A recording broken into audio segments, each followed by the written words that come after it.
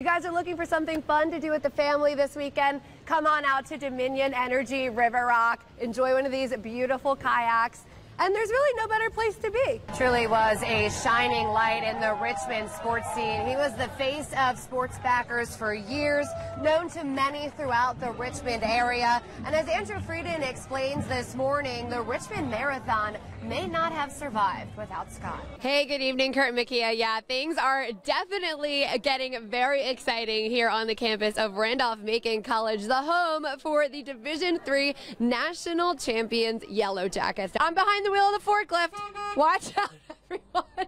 Now, if seeing those images and stories out of Florida inspires you to help, please give us a call right now. The Red Cross has been kind enough to staff our Call 12 Center tonight, taking your donations to help with relief efforts in Florida. 804-228-KIDS. Give that number a call and help raise some money for these amazing amenities. Absolutely unfathomable news coming out of the city, which is just west of San Antonio. I'm here at Christmas on Wenhurst in Glen Allen, continuing our our holiday homes coverage. The lights just came on and we're going to give you a very special behind the scenes look at all the amazing lights at this home coming up. Stay tuned. It's a bit of a sigh of relief for those living on the west coast of Florida tonight as Nicole of course has its sights set over on the east coast. In this box here we have a backpack Every student that needs one in those five area school districts will be able to get one. Inside, you can see that they've been stuffed with supplies from the volunteers. So things like notebooks, rulers, crayons, pencils. This is so cool. I swear, my job just keeps getting cooler and cooler. Uh, Enzo and Jasmine, we're going to toss it back to you guys in the studio. Obviously, these kids are having a lot of fun. What an awesome accomplishment. Uh, last time this team was in the tournament back in 2011, they made a run to the Sweet 16. You guys think you're going to make it to the Sweet 16? Yes! No doubt! We're doing it! Hey, good evening, Kurt and Makia. Yeah, take a look. You can see in the photos and videos behind me that a group of people in favor of wearing masks in schools gathered tonight before the Dale District Budget Town Hall meeting. Their message, they say, is simple. They agree with the Chesterfield Education Association and have absolutely no confidence in the school board. Where's my choice? Where's my choice? On this frigid final evening of January, given us a choice, but they have given us no choice.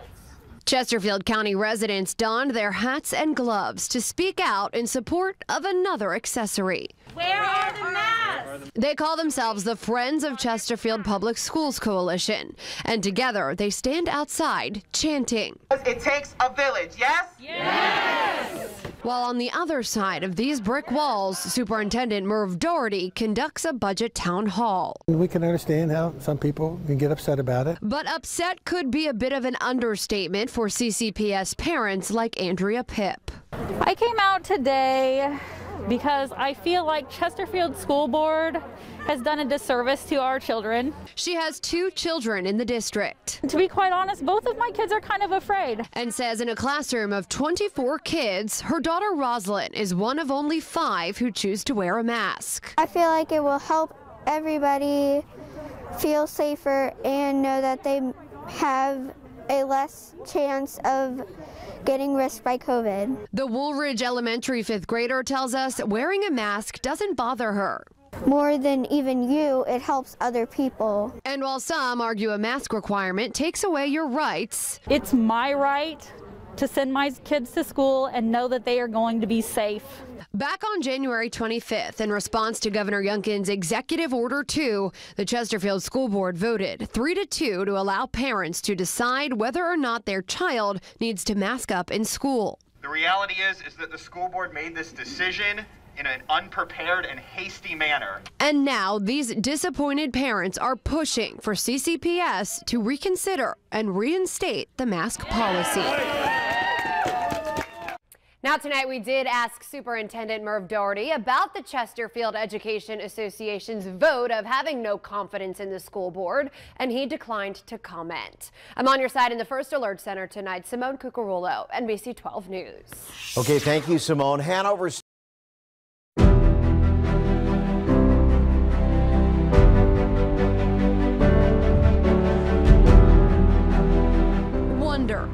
Oxford defines it as a feeling of surprise mingled with admiration, caused by something beautiful, unexpected, or unfamiliar. This has been a dream of people in Richmond and the Children's Hospital Foundation for multiple generations now. A wonderful dream that is now becoming reality for doctors like Matt Sheft. When it's complete, it is going to be an entire city block in the city of Richmond dedicated to maintaining and restoring the health of children. After years of planning, the brand new 16-story facility is starting to take shape. Right now, today, we have 387 uh, workers throughout the building um, making this building happen. The project, which is set to be completed in the spring of 2023, is a collaborative effort between the Children's Hospital Foundation and DPR Construction. This is really an incredible place for children, um, and your dollars are really going to make it even more special. In the spirit of this year's Radiothon, the organizations opened their doors to give us a special first look,